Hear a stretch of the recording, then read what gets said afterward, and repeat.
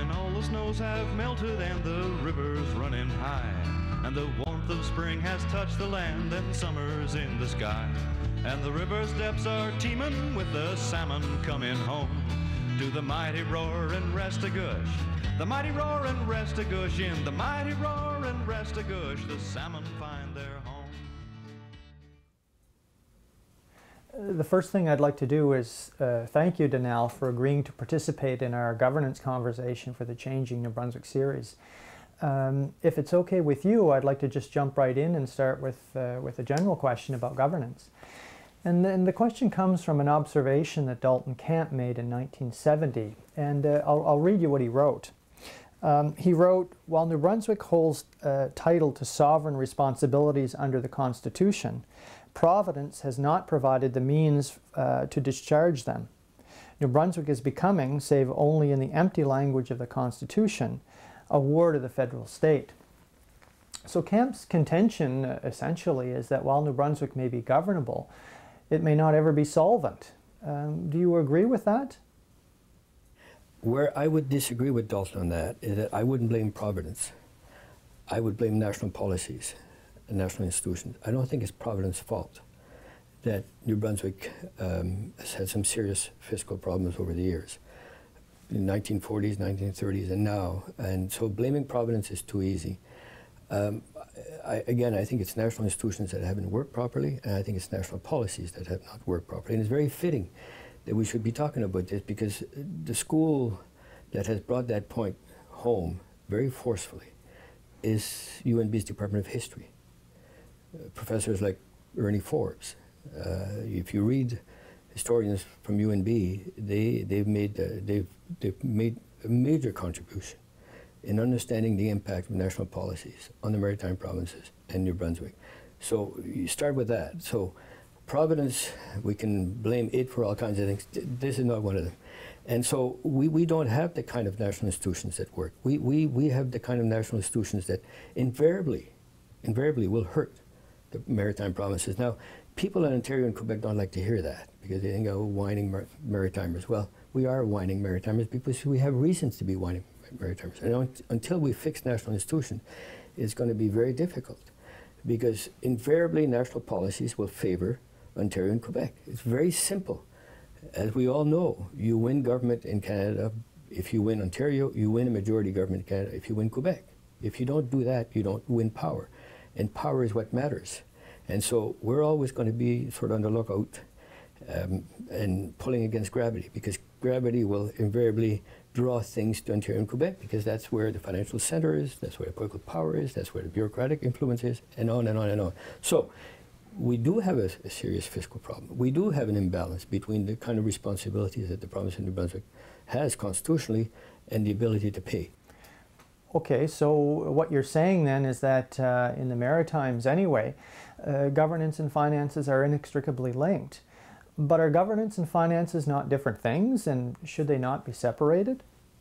The point is, in our province, I fear that controlling the public purse, the issue of public finances, will so dominate public policy over the next 15, 15 20 years that governance will be about public finances and how do we deal with the situation that we're now facing. And I think the only way you can deal with it is to draw out best governance practices. I think you can build a foundation to deal with the problem through good governance practices. And by that I mean if we don't involve New Brunswickers, if we don't educate New Brunswickers, if we don't explain the kind of situation that we that we are facing and the kind of decisions that are being imposed on us or will be imposed on us, if we don't do that, then we're gonna we're gonna fall into a, a deadly trap of zero sum game, where we'll say, well, we're not gonna lose our hospitals because if we do, Caraquet will gain one.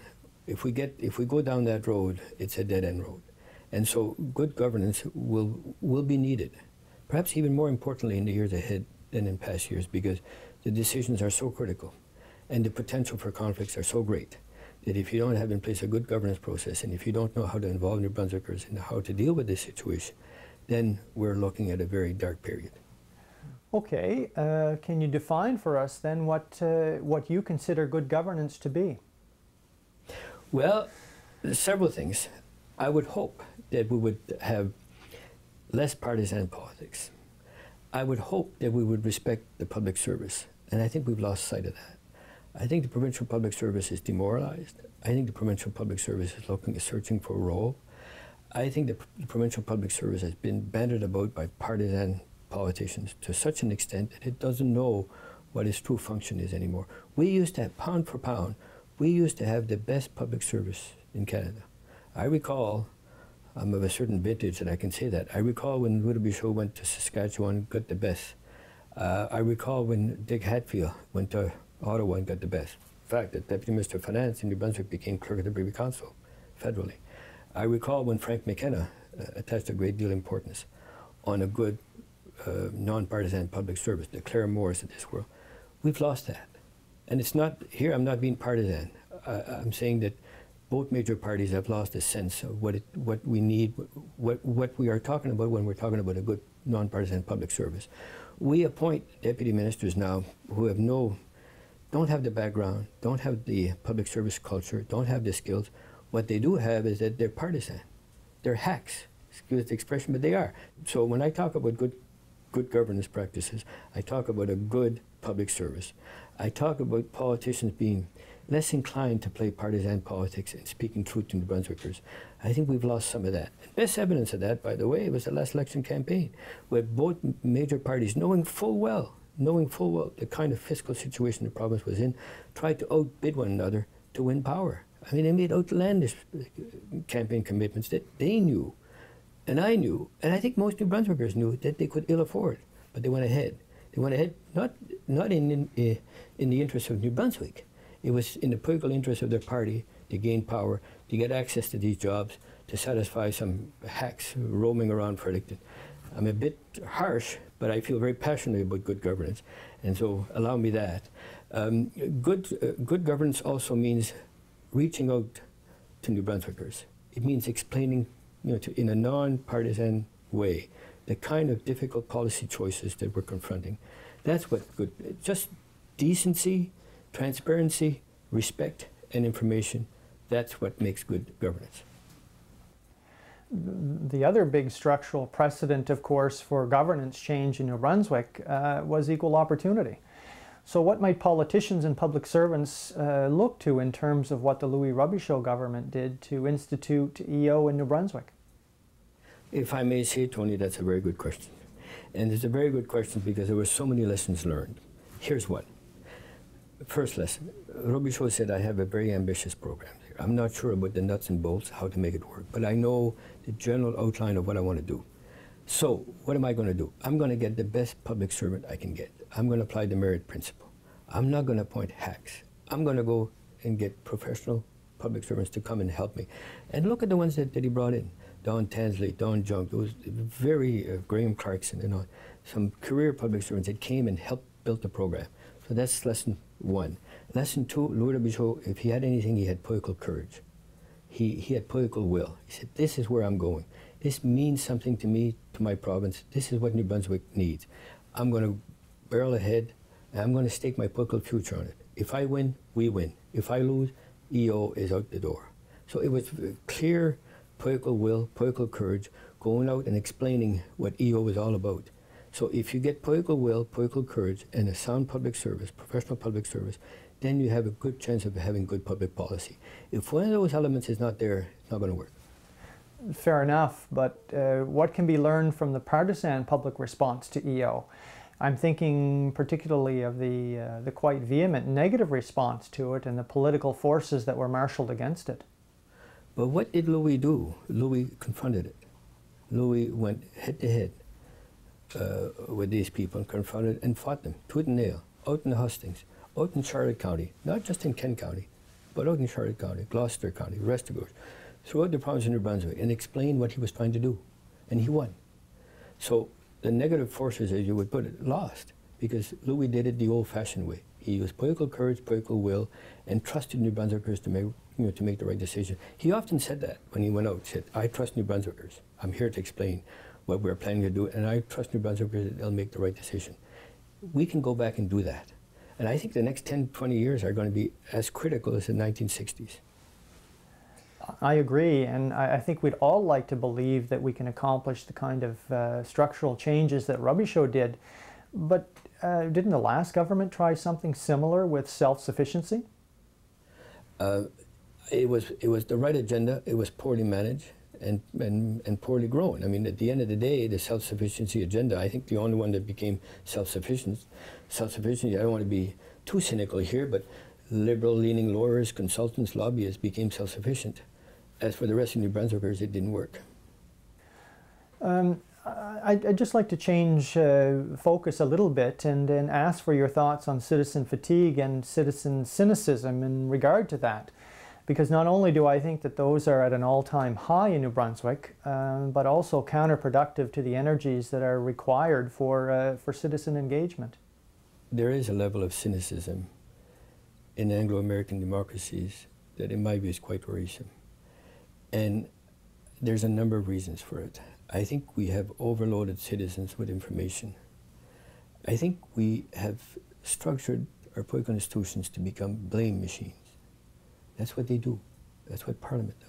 That's what the Assembly in Fredericton does, is to seek out blame, to blame. We have this great desire to blame someone for anything. So we've given the public sector a bad reputation. It's been somewhat deliberate. I think bureaucracy has given the public sector a bad reputation in part because it's been battered about, in part because it doesn't know if it's, it ought to remain nonpartisan public service or should be catering to the political hacks. It hasn't quite sorted it out because it's been put in that, you know, in that kind of situation. So we have the ingredients of a cynical society. And I think we need to step, step back and look at the blame machine and look how we can fix this blame machine because that's what government has become. That's what Parliament and Legislative Assembly have become. And over the next 10 years, the notion of blaming is not going to work in the province of New Brunswick. The, the challenges are far too great. Instead of pointing the finger and blaming, I think we need to point the finger and say, okay, how, what do we do now? What do we do now in healthcare? Uh, in the interest of the blame machine, let me blame a few, if I can, if I can go against my grain of thought. Uh, several weeks ago, uh, Mike Murphy, was a former Minister of Health, had an op-ed in the daily newspaper in the province saying that we ought not to close a single hospital and saying that public servants in his department came forward with all kinds of recommendations to close hospitals. Two things wrong with that. Two things desperately wrong with that. One is that if you're not going to close a single hospital, tell us how you're going to deal with a billion dollar deficit. You can't have it both ways. Two, for a minister to come forward and say, the bureaucrats tried tried this on me. The bureaucrats wanted me to do this, and I said no. That's not the way our system is to work. The Westminster parliamentary system, our public service should be anonymous. We ought not to identify, because if we do, we make them political actors. It's very easy to find out which public servant made that. You just go back into history and see who was the deputy minister, who was the ADM, and say, oh, those characters wanted to close hospitals. Well, that's wrong. You don't, you don't build a nonpartisan public service if you go down that road. So we we, we, we have a cynical population because we've given rise to all kinds of conditions that point the way to, to, to being cynical. Yeah, I agree. I mean, blame seems to be everywhere. Um, and if in fact the blame game has eroded public trust, um, like what are your thoughts in terms of how we might reform the image of the public service? I think it's incumbent upon public servants to speak truth to policy issues, to tell ministers what they may not want to hear, to tell ministers this is the situation. You may not like it, but this is, this is, how, this is how it is. To tell a minister, your idea may, may make sense politically, but for the good of the province, it doesn't work. We've tried that 10 years ago. It doesn't work. Let's not go down that road. The ability to speak truth to ministers and to the Premier is an essential part of good governance. Okay, still with citizen engagement and structural reform, um, can I ask for your views on proportional representation, which seems to be getting a lot of, uh, a lot of headlines lately? Well, I don't think PR, i have never been a fan of PR, and uh, I don't think it would work um, for several reasons. First, uh, I don't think Canadians are a fan of PR. It's been tried. We've had some referendums in two or three provinces, and in all instances it was voted down. Second, there are countries who've embraced it, like New Zealand, and what we've seen is that a lot of reform movements have come to a grinding halt because you don't have the kind of stability and the kind of uh, key decision-making processes that you have when there's a majority government. The question, of course, is PR is that could you ever possibly have a majority government? And if, if you live constantly in a minority situation, can you have any kind of long range planning? At the moment, with majority government's four year planning cycle, we have a great difficulty in having long range planning cycles. Imagine it if, if you have PR and a lack of stability. So I've never been in favor of it, and I think the province of New Brunswick is at a critical point. And I think what it needs now is uh, being sure footed and having capacity, a capacity to look long term. With regards to looking long term, uh, one concern expressed by many citizens in letters to the editors of the provincial dailies is about the close relationship between business and government in New Brunswick. Um, these letters cite the efforts of uh, recent governments to create business friendly tax and, and labor policies as one of the sources of people feeling really kind of disenfranchised. So, is there any merit in your view, to this citizen concern, or is it this, uh, or or is this feeling uh, kind of a populist example of our tendency toward parochialism? There is merit. There is no question. There is merit. It's not just a New Brunswick phenomenon. Um, I think it has a lot to do with the global nature of the economy. I think it has a lot to do because uh, as we try to compete, uh, invariably we have to shed a number of things that we had in the past. But uh, also, it has a lot to do with the weakening of the institutions that we have, our political institutions, our public service institutions. We've, uh, again, we've made Parliament a blame machine. We made the Legislative Assembly a blame machine. We made the public service weak. We've weakened it. So if we weaken those parts, and if what matters now is the individual, that's where you, where if you're looking for power, that's where you go, and institutions don't matter as much, well, you, if you're a powerful individual, you can get access. If you're a powerful individual and you don't have access, you can buy access now. We have lobbyists roaming the streets of Fredericton, for God's sakes. We have lobbyists roaming the streets of Ottawa. And so we've, we've personalized everything. And in doing so, we've disenfranchised people who don't have access, who don't have the, the kind of resources that you need to have access. So is there a merit in the argument? Absolutely. Okay, I'd like to I'd like to shift gears just a little bit, uh, Donald, and ask you a question that's near and dear to my heart, and uh, I guess I'll I'll pose it in this way. Uh, when when Norm Betts lost his Southwest Miramichi seat in, in the 2003 election, he observed that there's a, um, a huge urban-rural thing developing in New Brunswick, and he started calling it the prosperity gap. Um, and he, he wasn't alone actually in thinking that the prosperity gap developing between rural and urban New Brunswick would become uh, the big concern in the province. Um, he actually said it would, it would replace language as the new wedge issue. So I'd like to ask you to comment on that little bit of what I consider to be political clairvoyance. Um, specifically on whether or not the gap between the, uh, between the rich and the poor, that is the, the urban south and the rural north in New Brunswick, has created the uh, conditions for another round of equal opportunity in the province? Um, that's a very difficult question, Tony. And I've had an experience of late. Um, a few months ago, I tabled a report for Premier Dexter on economic development in the province of Nova Scotia. In that report, I underlined the importance of Halifax as the urban center for the maritime provinces and we should all applaud its growth. We should take pride as Maritimers that Halifax is a major urban center.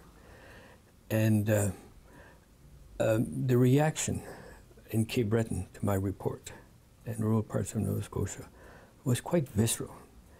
And it's become a very, very, very emotional issue. And I suspect that in New Brunswick, though you see communities dying, they're dying out of bitterness. They're dying out of despair. They're dying out of, if it weren't for Moncton, Saint John, and Fredericton, or Halifax, we would be better off. I don't think that's the case. I think that's the nature of the new economy. That's the nature of the knowledge economy, that it favors urban centers. And it's unfortunate, but that's reality. I grew up in a small village that's now dying, as you did, except that you grew up in a town. And it saddens me. Now, as I, if people had taken the time to read what I wrote in my report in Nova Scotia, there was a big part on rural development. And we cannot, we cannot let rural New Brunswick die. We cannot let rural Nova Scotia die. We cannot let rural Canada die. Why is that? Well, it, it, it's still the place where we garner the foodstuff. It's still the place where we have tremendous success stories. You know, the McCains were born in a small town. The Irvings were born in Bouctouche. Small towns have given rise to all kinds of incredible economic successes. That's factor number one. Factor number two, you cannot empty a, a public infrastructure place and say, well, too bad. Just let it go. We invested all these monies to build these roads, these hospitals, this public infrastructure, but the market forces was wipe it clean. It's short-sighted. It is totally short-sighted. Now, are there solutions? Yes, there are solutions. There are solutions. I marvel, I marvel at, at, at, at the reason why we in Canada think that all administrative units that processes programs should be in Ottawa or Fredericton. Why is that? Why do we need, why, why couldn't we have the Medicare processing unit um, in Dalhousie? Why could we not have an administrative unit under Revenue Canada and there's what, 40, 50,000 people working there? Why couldn't we have a unit located in Dalhousie? That's one way. Why could you not have a tax structure that would favor rural growth? Why can't we do that? There's all kinds of ways of doing it, and I think we need to do that. Bearing in mind that urban centers are tremendously important for an economy as it is for the maritime provinces.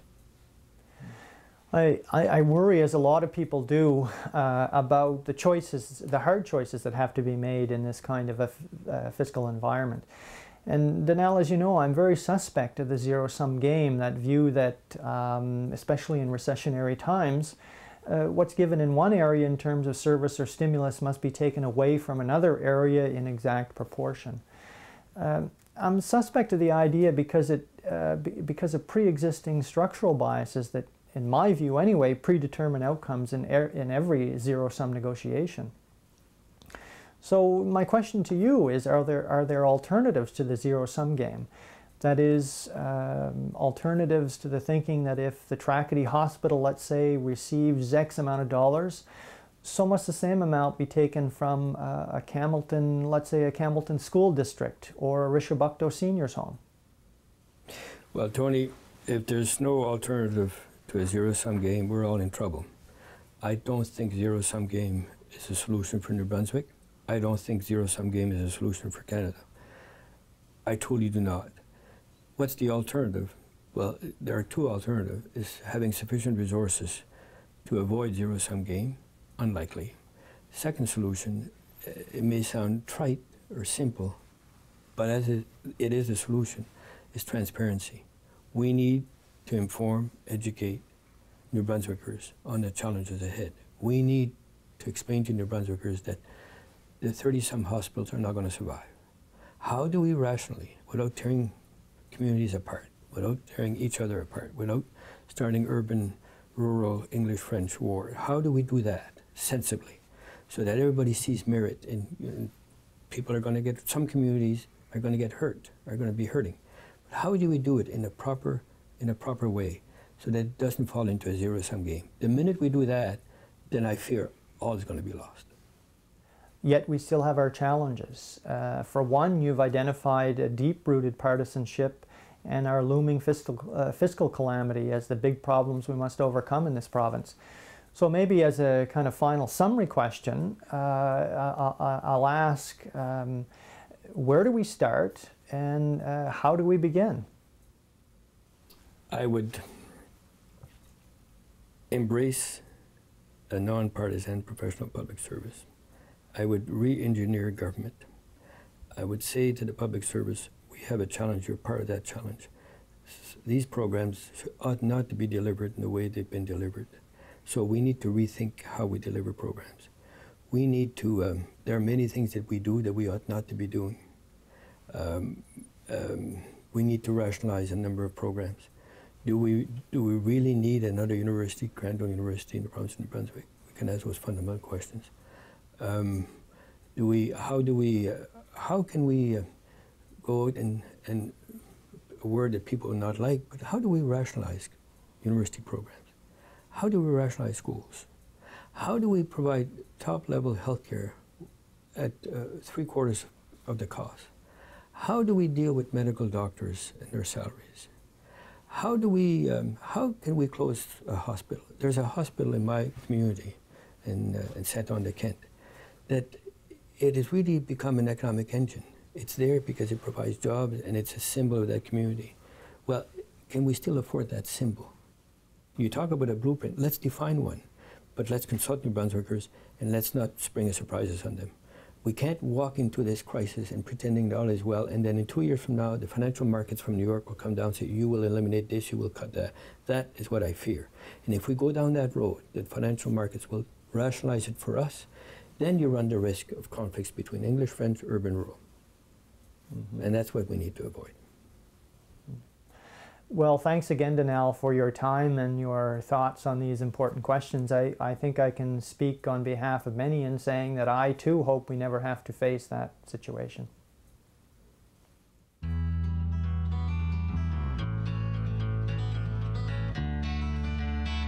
When all the snows have melted and the rivers running high, and the warmth of spring has touched the land and summer's in the sky. And the river's depths are teeming with the salmon coming home to the mighty roar and Restigouche. The mighty roar and Restigouche, in the mighty roar and Restigouche, the salmon find their home. Portez and toast they celebrate le passage de l'année. Venez tous Campbellton, le festival est né. Joie au bon saumon et aux belles rivières.